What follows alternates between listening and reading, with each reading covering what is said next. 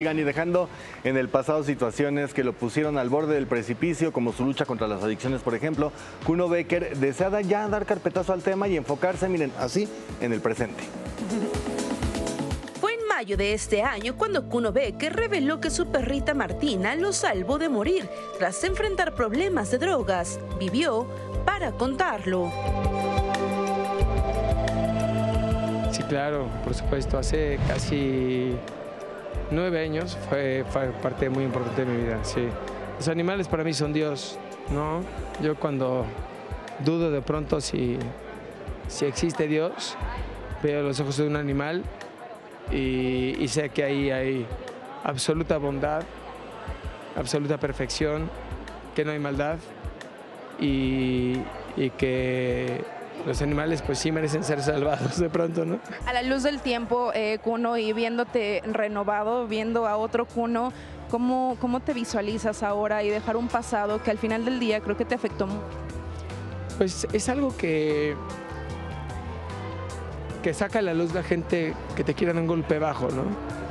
Eh, eso del historial que cada quien tiene es, es como, es como duro recontraerlo, ¿no? Es como buscando el, el, error, ¿no?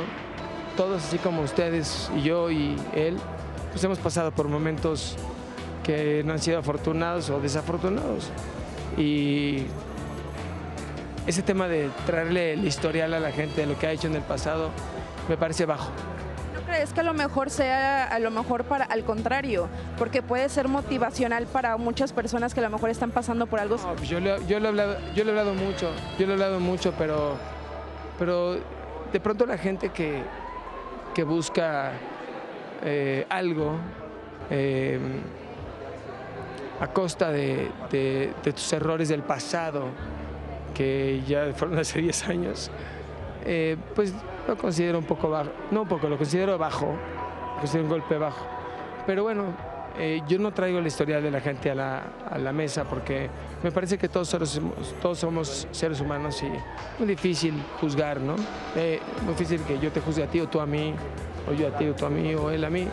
Yo creo que nadie está libre de culpa, todos, seres, todos somos seres humanos y al final sí creo que es, es, es como es como eh, la carne de los buitres, ¿no? Eso creo.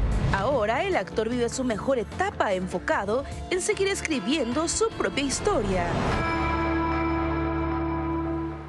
Este, pues mucha suerte a Exacto. Mucha suerte. Eh, lo vi raro, ¿no? Sí. Lo vi raro. Sí. Como muy profundo, a lo mejor. O sea, muy reflexivo.